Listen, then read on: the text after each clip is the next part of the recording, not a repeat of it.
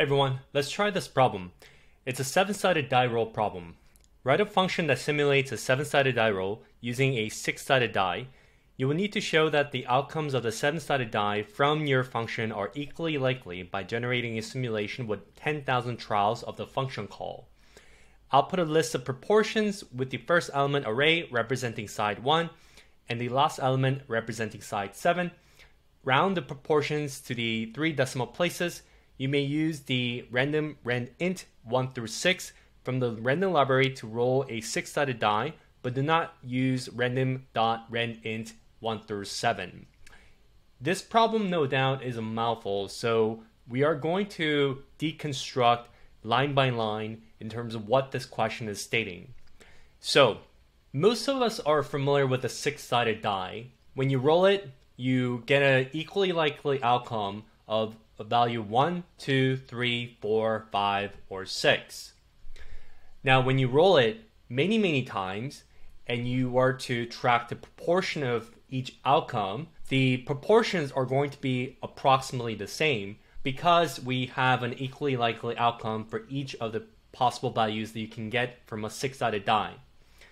Now, what we're trying to achieve is somehow using a six-sided die and try to emulate what could be the case if we have a seven-sided die roll. And the additional information we have about the desired outcome is that the seven-sided die roll, the outcomes must be equally likely. So that means that if we were to run a simulation of 10,000 trials or however many trials, and when we're to measure the proportion of times that you get of each outcome, values from 1 through 7, the proportions should be approximately the same. Now, our output here, when we input the trial value, so k equals 10,000, ultimately the output that we should be getting is this list of seven elements or seven outcomes ranging from 1, 2, 3, 4, 5, 6, 7. And each of these represents the proportion of times that you get an outcome from the seven-sided die roll, and the value is rounded to the three decimal places. Now that we understand the problem, let's go ahead and set up the code. But first of all, we want to think about how we're going to simulate a six-sided die. That is a prerequisite before we can think about how we're going to simulate the seven-sided die. Now we can use a random library, and we can use a function that has been given to us, the random.randint 1 through 6. This is going to simulate a six-sided die. Let's see what this looks like. So I'm going to import random. I'm just going to go ahead and copy paste this part. Now, I want to know what happens if I run this k number of times. So I'm going to go ahead and set the trials as, let's just say 30. And let's see what happens when we iterate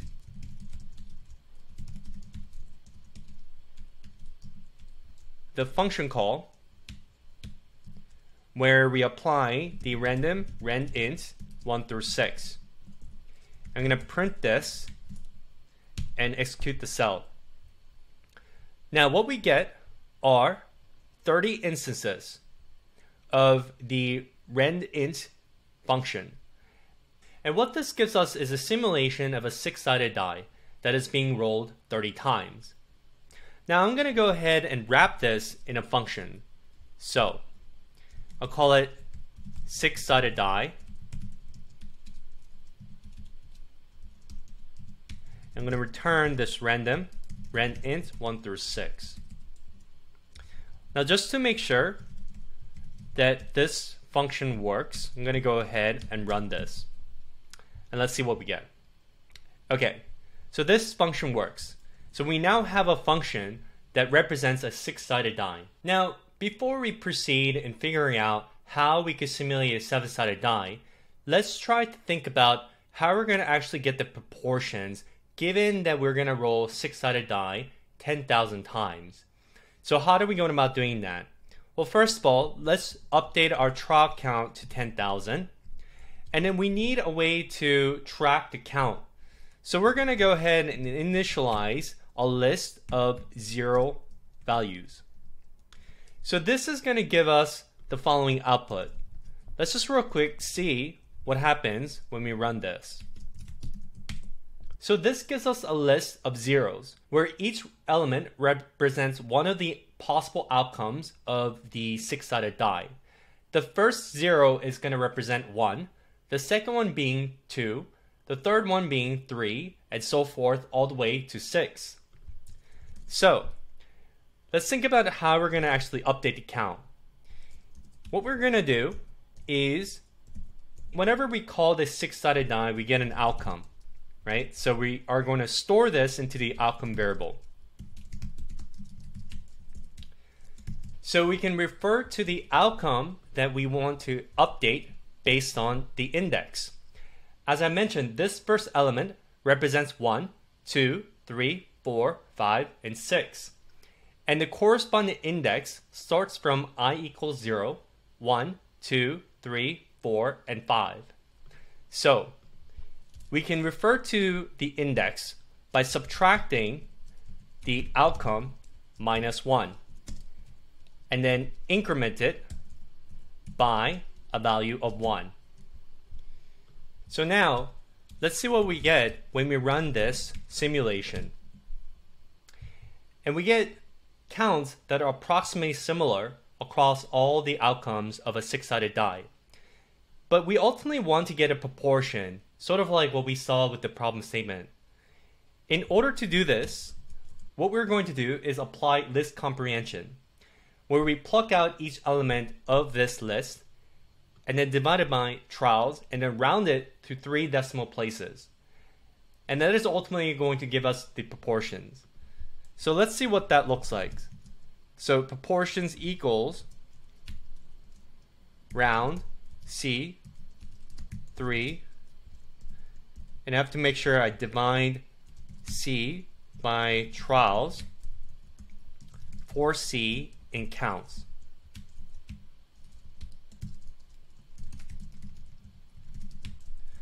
Now when I print proportions, what I get is a proportion of each die outcome in a six-sided die. And you can see that the values are approximately similar. And if you were to increase the number of trials, then the delta between the proportions are become smaller. Now we have a solid understanding of how to simulate a six-sided die. But how are we going about using this in order to simulate a seven-sided die? There are various ways you could approach this, but here's one way. First of all, you have to think about there are more outcomes in a seven-sided die than a six-sided die. So just simply rolling a six-sided die once, there's no way that you'll be able to emulate a seven-sided die. So now you have to think about what if you were to roll a six-sided die twice and then somehow map the outcomes of the six-sided die to a seven-sided die. So here's one potential way in which you could try to mimic a seven-sided die using two rolls of six-sided die. What if you were to have a mapping? For instance, let's just say that the first roll outcome is a value of 1, and then you roll it again, and you're going to end up with a value 1. And let's just say that this would map to face 1 on the seven-sided die. In other simulation, you could potentially get the face of 1 for the first roll of six-sided die, followed by 2. And then this could map to the outcome 2 on the seven-sided die. And you keep building this map out in such a way that the combination of the six-sided die rolls can map to a seven-sided die. Now, so far, we've used the face one in the first roll of the six-sided die, and then all other possible outcomes in the second roll of the six-sided die, and then we were able to map values 1 through 6 on the seven-sided die. But how do we go about representing the face 7? We could use the next number in the first roll, 2. And then the second roll of the six-sided die, being 1, can map to 7. So we now have a mapping where the two rolls of the six-sided die can map to all the values in the seven-sided die. Now, you might be wondering, what about the other potential outcomes, such as the value 3, 4, 2, 2,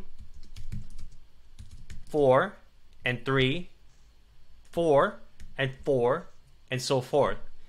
Because when we think about all the possible combinations that you can get when you roll a six-sided die twice, it is, it is going to be 6 times 6, 36 outcomes. So how do we mitigate situations where the outcomes from the two rolls of six-sided die doesn't map to the seven-sided die? One way to handle this is simply to discard such outcome and you simply rerun that simulation again until you have a matching outcome that gives you a seven-sided die. And when you run a simulation with large number of trials, where you keep the outcomes of the two rolls of six-sided die that maps to a face on the seven-sided die, and discard the outcomes that doesn't have any mapping, then ultimately what you're going to get is a simulation outcome where the proportions of each of the value from 1 through 7 are approximately similar. In other words, the outcomes are equally likely. So now that we have a conceptual understanding of this, let's go ahead and try to code the seven-sided die. So we're going to use the six-sided die function that we've already written, but we're going to go ahead and write another function. This time we're going to call it seven-sided die. As I mentioned, we need to use this mapping. And how we're going to use this mapping is that we are going to roll the six-sided die twice, and then we're going to assign the outcomes in a tuple and look up this result dictionary to see if the outcome is one of the keys in the result, and then return the corresponding value in the dictionary, which represents the one of the seven values in the seven-sided die roll. In order to simulate the roll of six-sided die twice, what I'm going to do is write a loop so I'll use a for loop in this case because we need to keep rolling the six-sided die until we have a matching outcome. So let's go ahead and represent O1 as the first roll of the six-sided die and O2 as the second roll of the six-sided die. And then we're going to use a try except block where we're going to try to return the result. So return result O1, O2, except, and if we don't have the matching outcome, then this is going to error out, meaning we're not going to be able to return any value from this function call. So we need to run this seven-sided die function again in a form of recursion. So what this is going to do is that this is going to run the six-sided die twice and store it in values O1, O2. And then we're going to do a lookup in this result. And this is the mapping where the two rolls of the six-sided die maps to one of the seven values in the seven-sided die. And if we have this key, then we're going to go ahead and return the outcome of the seven-sided die and then this function call is going to exit. However, though, if we don't have an outcome where we don't have the key in this result, then this is going to error out, and therefore it's going to call this function again until we have the matching outcome. So now let's update the simulation code. So instead of calling outcome equals six-sided die, I'm simply going to replace this with seven-sided die function. And I also have to make sure that the count has seven zeros. And then once I run this, what I should get is this outcome. And this represents the proportion of each face in a seven-sided die that has been rolled 10,000 times. And you can see that the values are fairly similar to each other. And if we were to increase it to, let's just say 100,000, then we should see that the delta becomes smaller. And this shows that we can go ahead and simulate a seven-sided die roll using a six-sided die. Now, if you're ready to accelerate your interview prep, so therefore you maximize your chance of succeeding interviews, then make sure you check out the premium tiers on dating.com. When you enroll, you get access to premium courses like A-B testing, applied statistics, business cases, pre-recorded mock interview videos, and every month there are new lessons that are being launched, including ML system design and data science coding. Not only that, you'll also get access to private chat group where you get a chance to network with peers to prepare for interviews and interact with instructors like me for Q&A. So what are you waiting for? Go to dating.com and get ready to succeed in your upcoming interviews.